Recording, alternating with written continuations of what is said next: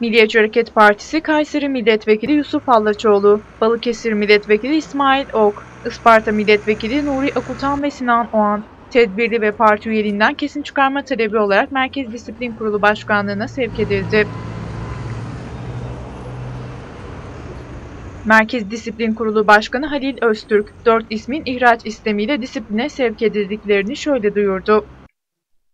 Partimiz Kayseri Milletvekili Yusuf Hallaçoğlu, Balıkesir Milletvekili İsmail Ok, Isparta Milletvekili Nuri Okutan ve Sinan Oğan'ın kamuoyu önünde yaptığı bir kısım açıklamalarının, toplantılarının ve benzeri faaliyetlerinin incelenmesi neticesinde parti tüzüğümüzün 11. maddesinde belirtilen görev ve sorumluluklarla bağdaşmayan birçok eylem ve söylemiyle Anayasa değişikliğine dair kanun teklifi öncesinde ve referandum sürecinde partimizin yetkili organlarının aldığı ve belirlediği karar ve politikalara aykırı biçimde görüş ve beyanda bulunmak, partimiz üyeliğiyle bağdaşmayacak şekilde başka platformların kurulmasını desteklemek, bu kapsamda partimiz disiplin ve hiyerarşisine aykırı biçimde başkaca siyasi partilerin değişik kademedeki temsilcilerini ziyaretlerde bulunmak suretiyle partimiz tüzüğünün disiplin hükümleri ihlal ettikleri iddiasıyla Parti tüzüğümüzün 78'de 4'e H maddelerinin ihlal mahiyetindeki eylem ve açıklamalar yanında benzeri faaliyetler içerisinde olmak sebebiyle 71. maddesi kapsamı ve gereğince